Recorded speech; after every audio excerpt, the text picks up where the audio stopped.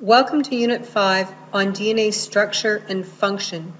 By the end of this unit, you will have to be able to describe the structure of DNA and label its parts, identify the enzymes, and discuss the steps involved in DNA replication, and define and provide examples of recombinant DNA.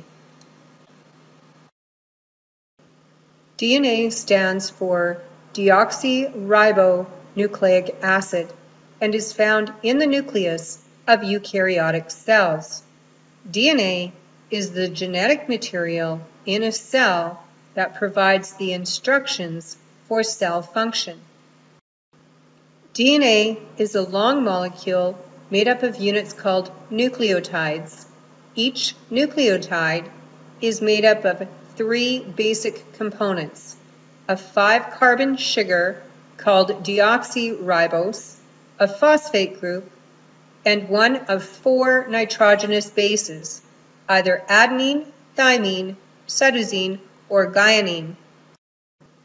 The alternating sugar phosphate molecules make up the backbone of the DNA molecule. The nitrogenous bases make up the rungs of the DNA ladder and are held together by hydrogen bonds.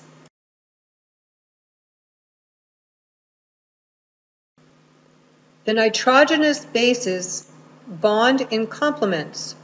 Adenine always binds to thymine with two hydrogen bonds, and cytosine always bonds to guanine with three hydrogen bonds.